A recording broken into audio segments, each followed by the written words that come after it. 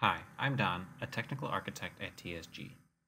In this brief demo, I'll be showing how we use Elastic APM to proactively track performance in Alfresco.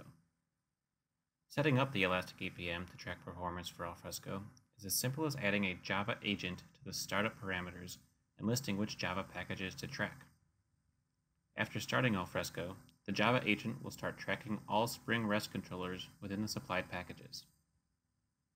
As you can see here, there are several open content controllers listed here with some basic information on overall transaction durations and requests per minute.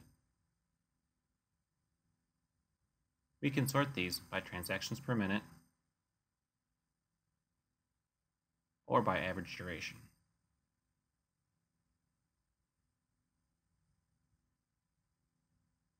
This screen also has tabs available to view errors in the application and to view server metrics.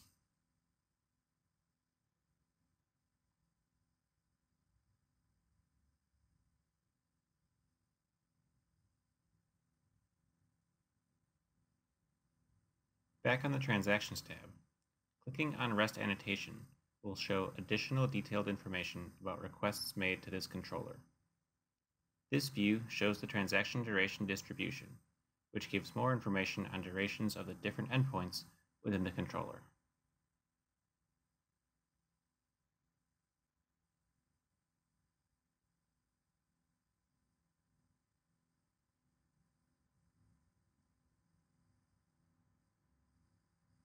Clicking on one of these shows more detailed information on how the duration of that call was spent.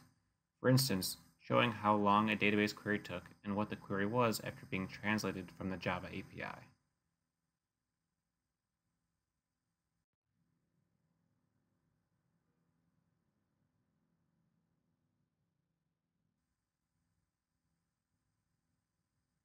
Because this data lives in the Elastic Stack, it is easy to make custom searches and dashboards in Kibana.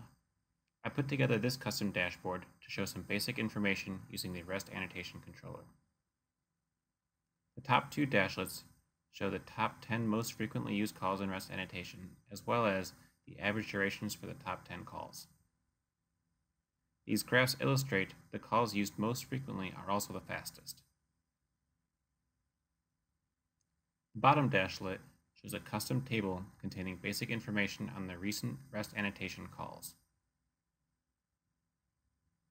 That's all for this short demo. Thank you for watching, and if you have any questions, please visit tsgrp.com.